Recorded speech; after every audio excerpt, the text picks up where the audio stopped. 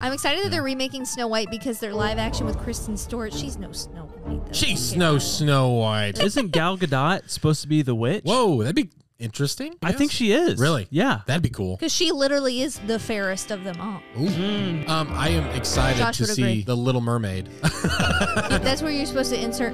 Some would say. I was gonna say that, but then you'd be like, With Gal Gadot, See, you would say, not some. she's Wonder Woman. Yeah, you gotta, you gotta like what? Wonder Woman. So what? She's a superhero. You look up to superheroes. Save me, I'm in trouble. please. Are you?